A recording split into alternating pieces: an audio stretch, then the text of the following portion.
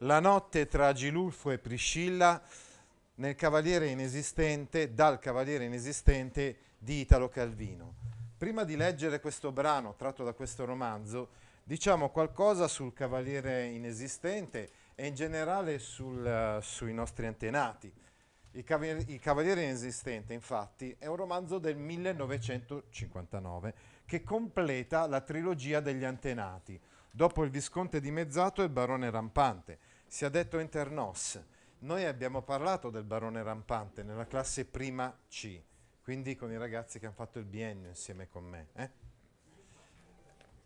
Infatti l'anno seguente, nel prima ha pubblicato questi tre romanzi, l'uno separato dall'altro. Poi, nel 60, Calvino riunisce in un unico volume i tre romanzi, che erano usciti separatamente, col titolo I nostri antenati, che allude ai problemi della contemporaneità. Nostri vuol dire che riguarda noi, che riguarda noi, insomma, lettori del mondo contemporaneo, senza negare strane e inaspettate assonanze con il passato. Come dice il vostro libro, le tre storie possono essere, citando Calvino stesso, possono essere guardate come un albero genealogico degli antenati dell'uomo contemporaneo, in cui ogni volto cela qualche tratto delle persone che ci sono intorno, di voi, di me stesso. Gli antenati, dunque, altro non sono che i protagonisti di un tempo in cui, per quanto ormai alle nostre spalle, è però possibile riconoscere i pregi e i difetti, le ambiguità e le azioni distorte di chiunque viva nella civiltà del Novecento. E allora, come ben capite, è un po' una chiave di volta quello che dice Calvino stesso. Come se ci dicesse, guardate, è vero, stiamo parlando di un cavaliere dei tempi di Carlo Magno, ma tutto sommato stiamo parlando di noi stessi, o almeno di alcune delle storture. No? La tematica che abbiamo individuato come più importante di questo romanzo, allegorico, fantastico, perché ricordate che Italo Calvino ecco, aveva um, intrapreso insomma, un filone fantastico, come abbiamo detto all'inizio del suo percorso, della sua narrativa, il racconto fiabesco, sulla scorta anche di Ariosto. Era un grande lettore Calvino di Ludovico Ariosto ed evidenti sono i rimandi ad Ariosto. Questi sono personaggi che sono presenti anche nell'Orlando Furioso, Carlo Magno, i Paladini, eccetera. Ma la tematica più importante è il contrasto fra essere e apparire, un tema significativo in un periodo come quello in cui è stato scritto il testo del boom economico. Eh, pensate al testo, per esempio, di Eric Fromm, avere o essere. Cos'è più importante? Avere, possedere, no? Nel caso di Agilulfo, mostrarsi, apparire, oppure essere davvero cioè avere una consistenza, avere un nervo, un, una sostanza. C'è il rischio, insomma, che dietro l'apparenza, ad esempio della ricchezza, o almeno dietro le grandi opportunità lavorative che proprio in quegli anni si stavano aprendo, no? anche per gli italiani, gli anni del boom economico, di cui iniziano a godere gli italiani, non ci sia più niente, ci sia il vuoto, scoprire un vuoto. No? Eh, qui ci può venire in mente anche Pirandello, no? quindi dietro una maschera un vuoto, un vuoto di una mancanza di essere. Questo è senz'altro uno degli aspetti più importanti in questo romanzo del, del cavaliere inesistente. È perfino capace di amare, vedremo adesso in questo brano che leggeremo, uh, Agilulfo, ma è vuoto, è tutto spirito, è tutto ragione, tutto mente e niente corpo. Si contrappone a lui un altro personaggio, esatto contrario, che è tutto materia e niente spirito, niente anima, niente mente, che è Gurdulù. Come Agilulfo si disinteressa di ciò che è corporale, dal momento che non ha corpo ed è tutto mente, così Gurdulù è tutto corpo, non pensa mai, si disinteressa insomma di ogni tipo di pensiero, è un po' materiale come evidentemente il, potremmo dire l'ispirazione potrebbe essere quella di Sancio Panza, giusto? No? Quindi tutto corpo e niente spirito. E quindi continuando questo paragone, Agilulfo potrebbe essere paragonato a Don Chisciotte. Anche Don Chisciotte era un idealista, anche Don Chisciotte era sconfitto dalla storia, dalla realtà storica, esattamente come, eh, come Agilulfo.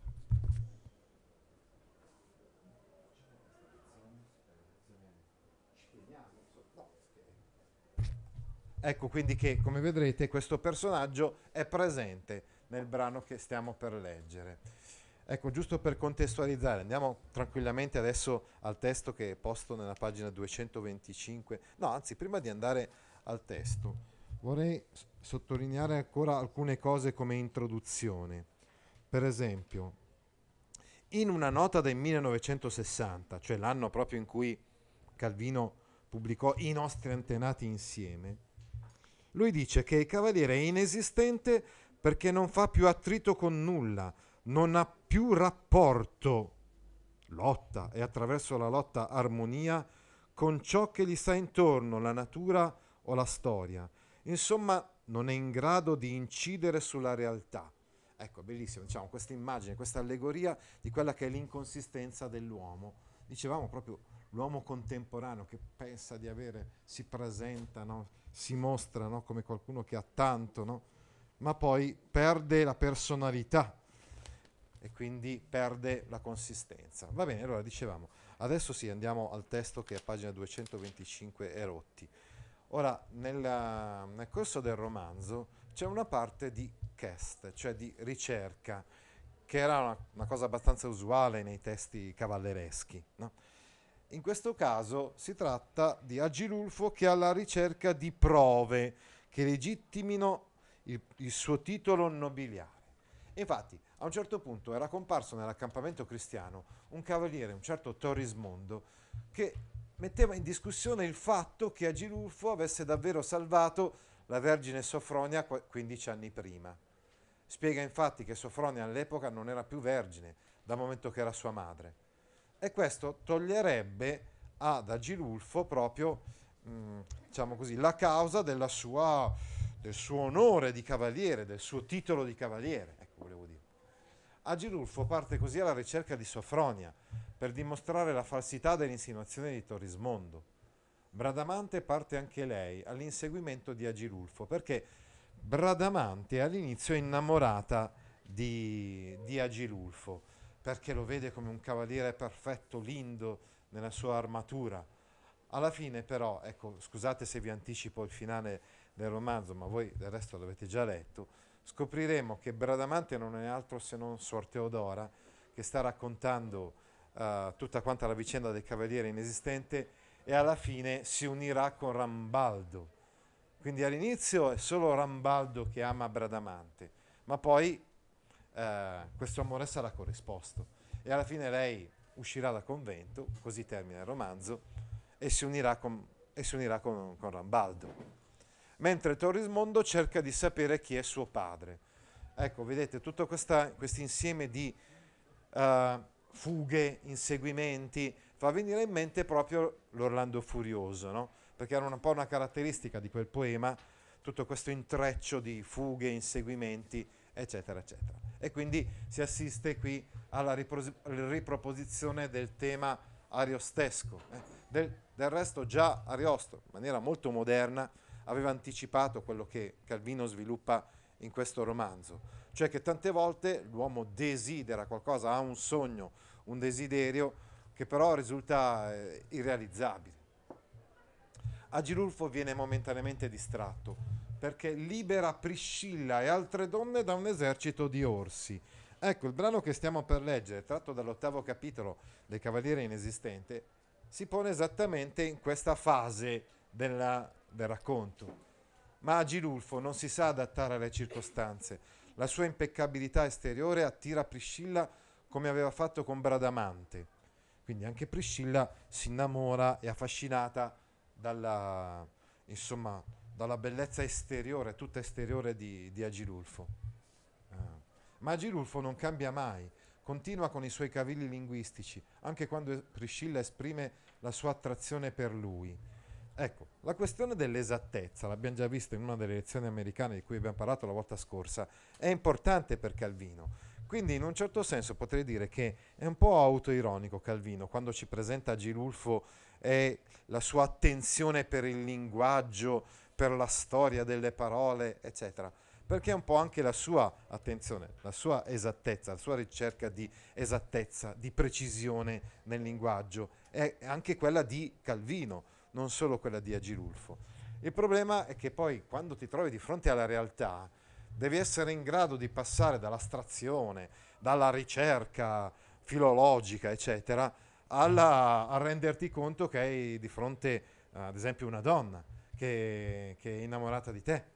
Ma Girulfo questo non lo può fare perché non ha corpo, è tutto esclusivamente mente. Bene, allora adesso leggiamo proprio questo brano tratto dal Cavaliere inesistente. Agilulfo irrompe sullo spiazzo dove sorge il castello. Ecco, il castello dove si trova appunto Priscilla. Tutto intorno è nero d'orsi, nel senso che Agilulfo in precedenza, nell'antefatto di questo brano, aveva incontrato una donzella.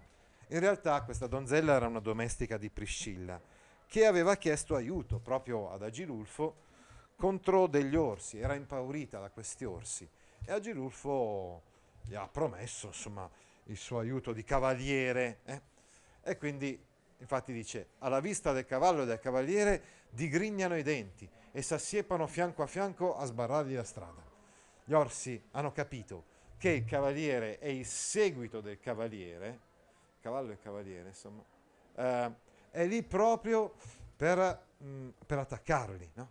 E quindi si assiepano fianco a fianco a sbarrargli la strada, quasi come a fare il fronte di un esercito, questi orsi. Agilulfo carica mulinando la lancia, viene davvero in mente Don Chisciotte. Espressioni di questo genere quindi fanno, fanno capire che anche il Don Chisciotte di Cervantes è un testo che ha ispirato eh, il Calvino del Cavaliere inesistente. Qualcuno ne infilza, altri ne stordisce, altri ne ammacca. Sopraggiunge sul suo cavallo Gurdulù e li insegue con lo spiedo. Ecco, diciamo, sempre più grossolano, più materiale, eh, Gurdulù usa lo spiedo invece eh, mentre Agilulfo usava la lancia e le armi tipiche del cavaliere. In dieci minuti quelli che non sono rimasti stesi come tanti tappeti sono andati a rimpiattarsi nelle più profonde foreste. L'impresa di Agilulfo riesce, cioè gli orsi sono messi in fuga, alcuni di essi sono addirittura trafitti. S'aperse la porta del castello Nobile cavaliere, potrà la mia ospitalità ripagarvi di quanto io vi devo? Sulla soglia era apparsa Priscilla, attorniata dalle sue dame e fantesche. Dicevamo, si tratta di una vedova che vive in questo castello insieme alle sue fantesche, quindi alle sue domestiche. Eh, tra loro era la giovane che aveva accompagnato i due fin lì, cioè tra loro c'era proprio quella donzella, quella domestica che aveva accompagnato Agilulfo e, e Gurdulu fino lì. Non si capisce come era già a casa e indossava non più le vesti lacere di prima, ma un bel grembiule pulito. Ecco, attenzione, questo potrebbe significare che quella domestica era stata era mandata apposta uh, a chiedere aiuto, insomma. Uh, quindi era un inganno anche, poteva essere un inganno anche questo. Agilulfo, seguito da Gurdulù, fece il suo ingresso nel castello.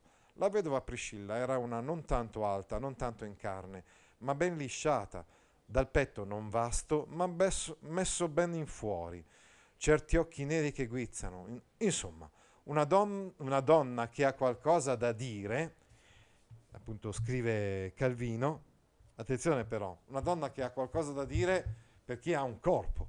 Agilulfo non ha un corpo, quindi era lì, davanti alla bianca armatura di Agilulfo, compiaciuta. Il cavaliere stava sostenuto, ma era timido. Cavaliere Agilulfo Emo Bertrandino de Guildinverni, disse Priscilla. Già conosco il vostro nome e so bene chi siete e chi non siete. A quell'annuncio Agilulfo, come liberato da un disagio, depose la timidezza e assunse un'aria sufficiente. Ciò non di meno si inchinò, piegò un ginocchio in terra e disse: Servo vostro. E s'alzò di scatto. Ecco, uh, allora. Uh, come vedete, lui è sempre in grado di presentarsi bene e di usare insomma quelle che sono le regole eh, della galanteria anche, della cavalleria in genere, eh, anche se appunto dicevamo è vuoto, la, dentro l'armatura di Agilulfo non c'è niente, non c'è, non c'è un corpo. Ho tanto inteso parlare di voi, disse Priscilla, e da tempo era mio ardente desiderio incontrarvi. Quale miracolo vi ha portato su questa strada così remota? Sono in viaggio per intracciare, prima che sia troppo tardi, disse Agilulfo, una verginità di or sono 15 anni. Come abbiamo spiegato infatti all'inizio, eh, lui eh, alla, eh, deve legittimare il suo titolo nobiliare e quindi deve trovare Sofronia che deve dirgli che lei era vergine 15 anni prima. Non ho mai udito impresa cavalleresca che avesse una meta così sfuggente, disse Priscilla, ma se sono passati 15 anni non ho scrupolo a farvi ritardare ancora una notte, chiedendovi di restare ospite del mio castello, e s'avviò al suo fianco. Le altre donne rimasero tutte con gli occhi addosso a lui, finché non sparì con la castellana in un seguito di sale. Allora si voltarono a Gurdulù. Oh, che bel tocco di palafreniere, fanno battendo le mani. Lui se ne sta lì come un babbeo e si gratta. Peccato abbia le pulci e puzzi tanto, dicono. Su, svelte, laviamolo. Lo portano nei loro quartieri e lo spogliano nudo. Ecco allora, dicevamo, Gurdulù è mh, mm, esattamente, mh, mm, come dire, complementare ad Agilulfo. È l'esatto opposto uh, di Agilulfo. Quanto lui è pulito, lindo, sempre attento all'esteriorità della, della sua apparenza di, di cavaliere, eh, l'armatura sempre, ricordate che eh, se avete letto l'inizio del romanzo, eh, praticamente non dorme mai e utilizza tutto il tempo per lisciare la sua armatura, per renderla sempre perfetta, luccicante, eccetera. Al contrario, Gurdulù ha le pulci addosso, puzza, pensa sempre solo a mangiare, ricordate che ha in mano uno spiedo e con quello infatti attacca gli orsi. E allora le altre donzelle, le domestiche, devono lavarlo prima di poter avere un rapporto con lui, eh, ovviamente.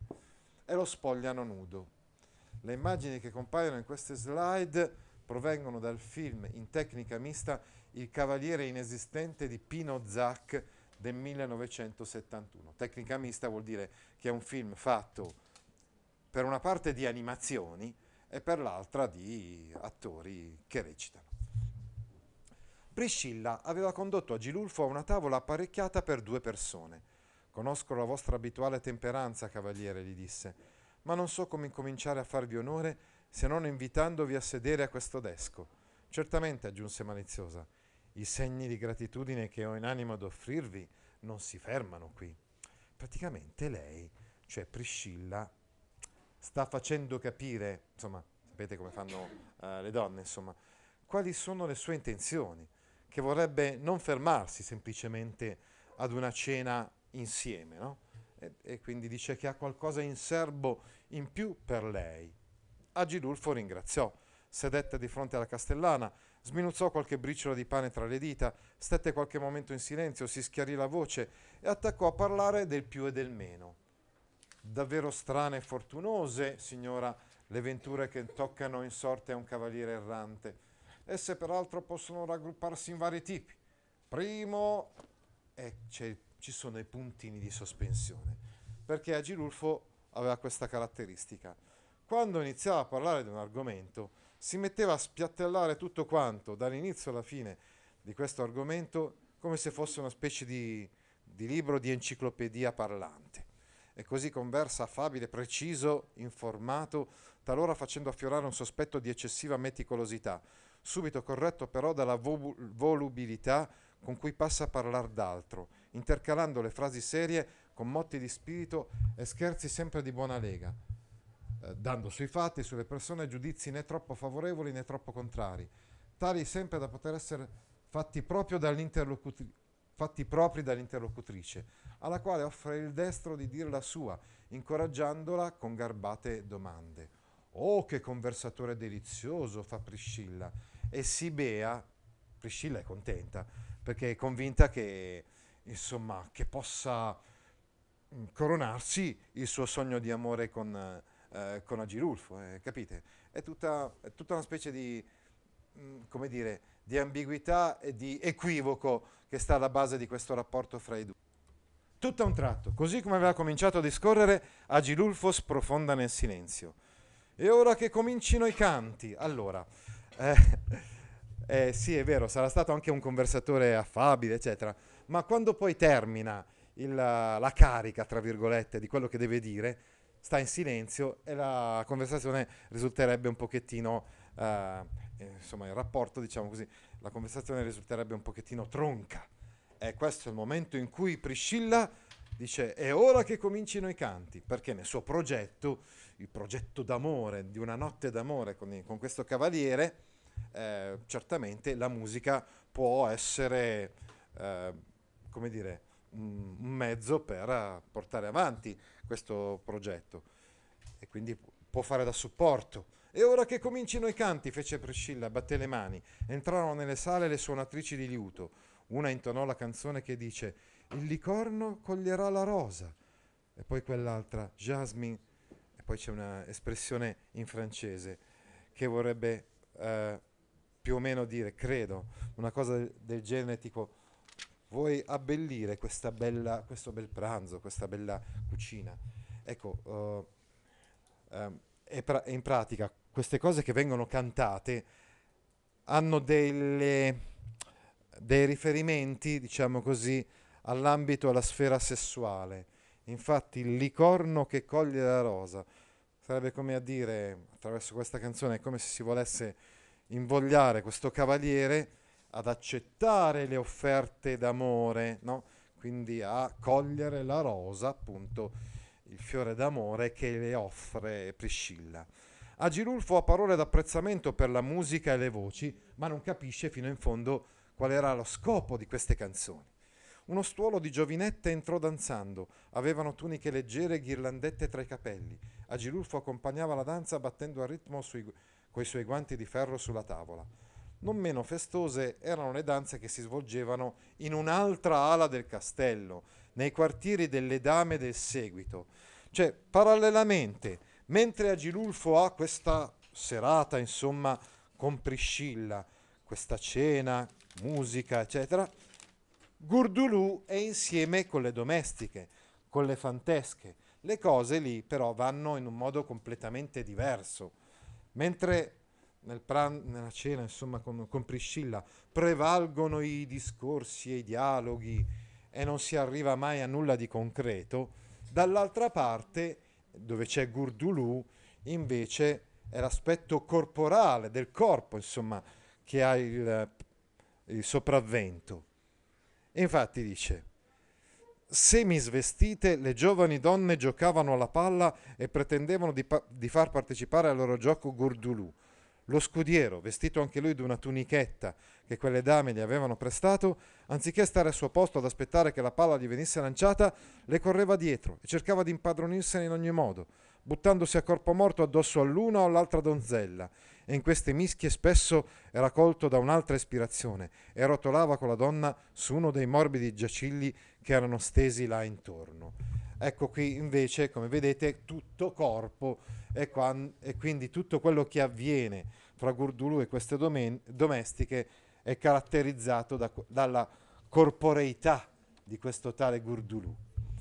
Oh, ma che fai? No, no, somaraccio. Ah, guardate cosa mi fa.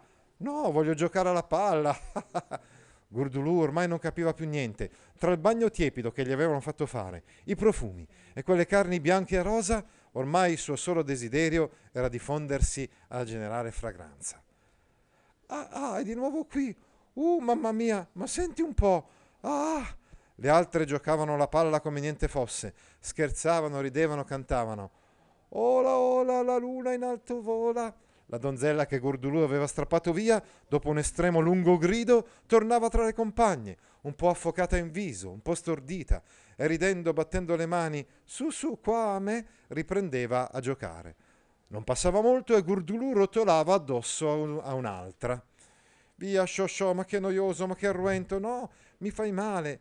Ma di e soccombeva. Altre donne giovanette che non partecipavano ai giochi sedevano su panche e discorrevano tra loro. È perché Filomena, sapete, era gelosa di Clara, ma invece si sentiva abbrancare da Gurdulù alla vita. Uh, che spavento! Invece diceva, Virigelmo pare che andasse con Eufemia, ma dove mi porti? Gurdulù se, se l'era caricata in spalla. Avete capito? Quell'altra scema intanto con la sua gelosia al solito continuava a chiacchierare, a gesticolare la donna penzolando dalla spalla di Gurdulù e spariva. Non era passata molto tempo e ritornava scarmigliata, una spallina strappata, si rimetteva lì fitto fitto. È proprio così, vi dico. Filomena fece una scena clara l'altro invece, eccetera, eccetera, eccetera. Insomma, come vedete, praticamente la notte d'amore di Gurdulù con queste domestiche, eh, con queste fantesche, è caratterizzata da un rapporto dopo l'altro e così queste domestiche, queste fantesche, interrompono momentaneamente quello che stavano facendo, il gioco alla palla nel caso della prima, o il racconto di una storia nel caso della seconda, si uniscono con Gurdulù e poi riprendono a fare quello che stavano facendo prima. Dalla sala dei banchetti, ritornando invece a quello che stava accadendo ad Agilulfo e a Priscilla, intanto danzatrici e suonatrici si erano ritirate, Agilulfo si dilungò ad elencare, ecco praticamente, quelle danzatrici, quelle suonatrici avevano solamente lo scopo di risvegliare in Agilulfo degli istinti sessuali che lui però non poteva avere, perché non avendo corpo non poteva, eh, come dire, portare a compimento i sogni erotici di Priscilla. Rimane lui da solo con Priscilla. Agilulfo si dilungò ad elencare alla castellana, cioè appunto a Priscilla, la signora di questo castello, le composizioni che i musici dell'imperatore Carlo Magno eseguivano più di sovente. Ecco, quindi vedete com'è paradossale. Erano venute queste suonatrici, avevano intonato queste canzoni a sfondo erotico per eh, suscitare, diciamo così, delle passioni amorose e lui invece coglie l'occasione solamente per elencare le composizioni che i musici dell'imperatore eh, eseguivano più di frequente. Il cielo si imbruna, osservò Priscilla. È chiaro, evidente, è una di quelle espressioni attraverso le quali Priscilla, come le donne fanno e devono fare, insomma, non è così esplicita, no? Cerca di farsi capire no, dall'uomo. E se l'uomo è uno sveglio, oh, e non è uno... Oh, cioè, capisce subito che cosa vuol dire la donna con certe espressioni. Il cielo si imbruna, osservò Priscilla. È notte, è notte fonda, ammise Agilulfo, cioè senza capire, diciamo così, la, cosa voleva intendere lei con quella espressione il cielo si imbruna, lei voleva intendere andiamo di là nella camera da letto perché è il momento di, di potersi appartare da soli, noi due, non c'è più nessun altro, sono andate via le suonatrici e le danzatrici, ma lui dice solo, è notte, è notte fonda. La stanza che vi ho riservato, grazie, udite l'usignolo là nel parco? La stanza che vi ho riservato è la mia, come dire, insomma, non è che vi ho riservato una stanza a parte, cioè dormireste con me, se non vi spiace, no? Non so se capite, insomma, la proposta più esplicita di così di Priscilla. La vostra ospitalità è squisita. E da quella quercia che canta. Cioè, continua il suo discorso che ha sentito che è un usignolo che, che faceva i suoi versi e riprende a dire quello che stava dicendo prima. Questo è Rambaldo in quel film. Eh, e da quei versi che canta l'usignolo, avviciniamoci alla finestra. S'alzò, le porse il ferreo braccio, s'accostò al davanzale il gorgheggio degli usignoli gli diede lo spunto per una serie di riferimenti poetici e, mitoloti- e mitologici. Cioè lui prende l'occasione, sente l'usignolo, prende l'occasione per iniziare a fare riferimenti poetici e mitologici di letteratura, insomma in quel frangente lì, sei da solo con una donna, ma Priscilla tronconnetto. Insomma, l'usignolo canta per amore e noi... Eh. Ah, l'amore, gridò oggi Lulfo con un soprassalto di voce così brusco che Priscilla ne restò spaventata. E lui, di punto in bianco, si lanciò in una dissertazione sulla passione amorosa, anche sull'amore. Lui fa dissertazioni, disquisisce su tutto, anche sull'amore. Priscilla era teneramente accesa. Appoggiandosi al suo braccio, lo spinse in una stanza dominata da un gran letto con baldacchino. Presso gli antichi, essendo l'amore considerato un dio, continuava Agilulfo fitto fitto, Priscilla richiuse la porta a doppia mandata come dire, qui chiudiamo bene, non vogliamo essere disturbati, no? Si avvicinò a lui, chinò il capo sulla corazza e disse, ho un po' freddo, il camino è spento, come dire, insomma, cioè, riscaldami tu, no? Ecco. Il parere degli antichi, disse a Girulfo, se fosse meglio amarsi in stanze fredde oppure calde è controverso, ma il consiglio dei più, eccetera, eccetera, lui non capisce, no? Oh, come voi conoscete tutto dell'amore, bisbigliava Priscilla. Il consiglio dei più, pur escludendo gli ambienti soffocanti, propende per un certo natural tepore. Eh, devo chiamare le donne ad accendere il fuoco? Lo accenderò io stesso esaminò la legna catastata nel camino, vantò la fiamma di questo o di quel legno, enumerò i vari modi di accendere fuochi all'aperto o in luoghi chiusi. Un sospiro di Priscilla l'interruppe, come rendendosi conto che questi nuovi discorsi stavano disperdendo la trepidazione amorosa che si era andata creando. Agilulfo prese rapidamente ad infiorare il suo discorso sui fuochi di riferimenti e paragoni e allusioni al calore dei sentimenti e dei sensi. Priscilla ora sorrideva occhi socchiusi, allungava le mani verso la fiamma che cominciava a scoppiettare e diceva quale grato tepore, quanto deve essere dolce gustarlo tra le coltri coricati. L'argomento del letto suggerì ad Agilulfo una serie di nuove osservazioni. Se, secondo lui la difficile arte di fare il letto è ignota alle fantesche di Francia e nei più nobili palazzi non si trovano che lenzuola rincalzate male Oh no, ditemi, anche il mio letto? domandò la vedova. Di certo il vostro è un letto da regina, superiore a ogni altro in tutti i territori imperiali, ma permettete, ecco qua incomincia, insomma praticamente a dire che sì è vero, è un bel letto, però ci sono delle imperfezioni, quindi adesso io devo mettermi a rifare il letto. Per via di questa ossessione dell'esattezza, della precisione, eccetera, Agilulfo bada a tutti questi particolari e non bada all'essenziale cioè che si trova lì di fronte una donna eh, desiderosa, insomma, di, fare, eh, di avere un rapporto con, con, lui. Ecco, quindi dicevamo, eh, vorrei, avrei il desiderio di vedervi circondata solo di cose in ogni loro punto degne di voi. Mi porti a considerare con apprensione questa piega. Cioè, sì, ho letto perfetto, ma c'è una piega qua nel, nel lenzuolo.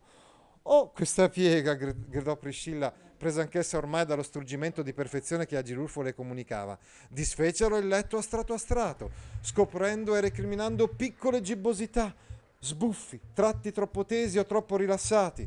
E questa ricerca ora diventava uno strazio lancinante e ora un'ascesa in cieli sempre più alti. Ecco, ovviamente è tutto ironico. Attraverso questa descrizione è come se lui volesse prendere in giro, abbiamo detto, se stesso, perché lui era un tipo esatto, preciso, e anche volesse prendere in giro l'uomo del suo tempo, l'uomo del tempo, l'uomo contemporaneo che bada a questi particolari ma perde l'essenza delle cose. No?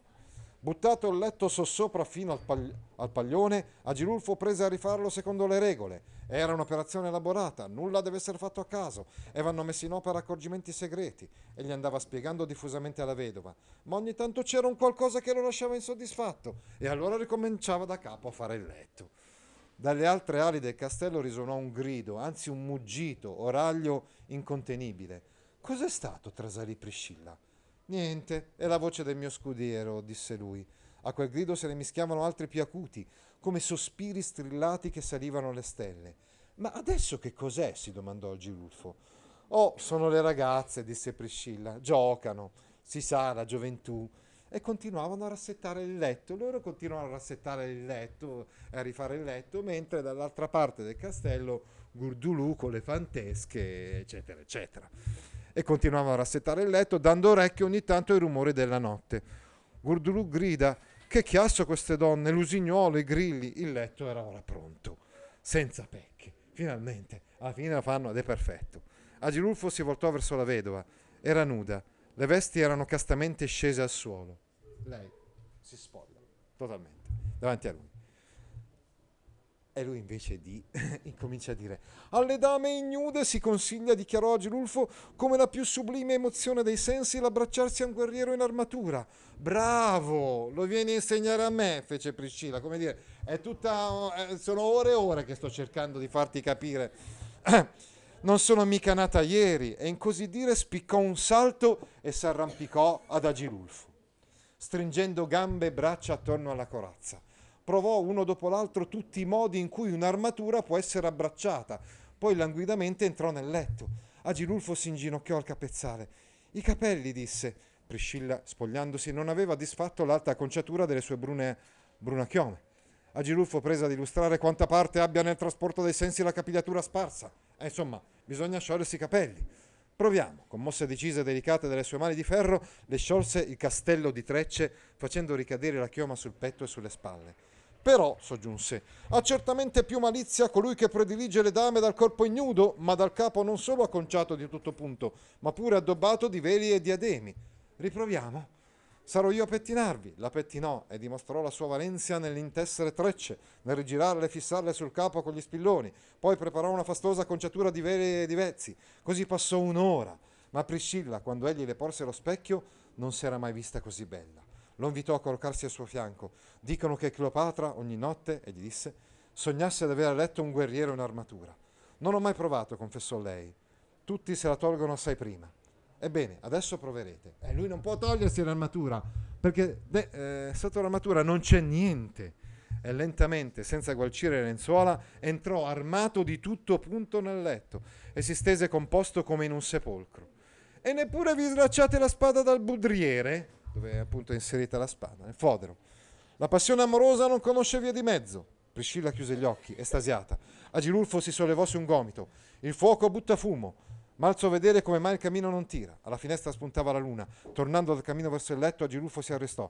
Signora, andiamo sugli spalti a godere di questa tarda luce lunare. La avvolse nel suo mantello, allacciati salirono sulla torre, la luna inargentava la foresta, cantava il chiù, qualche finestra del castello era ancora illuminata e ne partivano ogni tanto grida o risate o gemiti e il raglio dello scudiero. Tutta la natura è amore. Tornarono nella stanza, il camino era quasi spento, s'accoccolarono a soffiare sulle braccia, a stare lì vicini, le rose e ginocchia di Priscilla sfiorando le metalliche ginocchiere di lui, nasceva una nuova intimità, più innocente. Quando Priscilla tornò a coricarsi, la finestra era già sfiorata dal primo chiarore. È passata tutta la notte e loro non avevano avuto il, loro momento d'amore perché del resto era impossibile che l'avessero. Nulla trasfigura il viso d'una donna quanto i primi raggi dell'alba, disse Agilulfo, ma perché il viso apparisse nella luce migliore fu costretto a spostare lecco e baldacchino. Come sono? chiese la vedova. Bellissima. Priscilla era felice. Però il sole saliva rapido e per inseguirne i raggi Agilulfo doveva spostare continuamente il letto. E l'aurora disse, la sua voce era già mutata, il mio dovere di cavaliere vuole che a quest'ora io mi metta in cammino. Basta, ormai è tutto finito, non, niente è, eh, è successo. Ovviamente fra i due, niente poteva succedere e ormai è anche il momento in cui Agilulfo deve riprendere il cammino, perché è cavaliere, ormai è l'alba e quindi deve... Di già gemette Priscilla, Priscilla, proprio adesso. Mi duole, gentile dama, ma sono spinto da un compito più grave. Oh, era così bello. Agilulfo chinò il ginocchio. Benedicetemi, Priscilla. Salza già, chiama lo scudiero Uh, gira per tutto il castello, finalmente lo scova, finito, addormentato, morto, in una specie di canile, svelto in sella, ma deve caricarlo di peso. Il sole, continuando la sua ascesa, campisce le due figure a cavallo sull'oro delle foglie del bosco. Lo scudiero come un sacco all'embilico, il cavaliere dritto e svettante come la sottile ombra di un pioppo. Attorno a Priscilla erano accorse dame fantesche. Com'è stato, padrona? Com'è stato? Uh, una, co- una cosa, sapeste, un uomo un uomo, ma diteci, raccontateci com'è. Un uomo, un uomo, una notte, un continuo, un paradiso. Ma che ha fatto? Che ha fatto? Come si fa a dire, oh, bello, bello. Ma con tutto che è così, eppure dite, dite, ecco, ovviamente le fantesche vorrebbero uh, sapere da, da, Priscilla che cosa è successo, ma, uh, ma lei non può dire più di tanto. Adesso non saprei come, tante cose, ma voi piuttosto con quello scudiere con quello scudiero, eh, oh niente, non so, tu forse, no, tu, ma che, non ricordo. Ecco il, il paradosso. Praticamente eh, Priscilla racconta alle fantesche di aver passato una notte, chissà che notte, con un uomo, chissà che uomo, ma in realtà non è successo niente fra lei e Agilulfo, come abbiamo visto. Al contrario, Tra le fantesche e le domestiche Gurdulù ne erano successe di cose, ma tante, tantissime. E invece loro minimizzano e dicono: Ma niente, non su, tu forse, no, tu, ma che, non ricordo. Ma come vi si sentiva, care mie? Ricordate infatti che nella notte da, eh, trascorsa eh, Priscilla e Giulfo sentivano chiaramente, diciamo così, i versi d'amore eh, de, delle fantesche e i ragli di Gurdulù. Ma chissà, poverino, io non ricordo, neanche io ricordo, forse tu, ma che io... Padrona, dice, diteci di lui, del cavaliere, com'era Agilulfo? Oh, Agilulfo, ecco. E quindi paradossalmente Agilulfo, paradossalmente è vincente, nel senso che, eh, insomma, serba Priscilla un'impressione di estasi amorosa, di galanteria, di finezza cortese, anche se non ha avuto alcun rapporto carnale con Agilulfo. Con questo O Agilulfo finale, in un certo senso si gioca paradossalmente la vittoria di questo uomo, uomo immateriale che riesce comunque a mantenere un certo fascino, anche se nella sostanza non ha combinato esattamente niente con questa donna.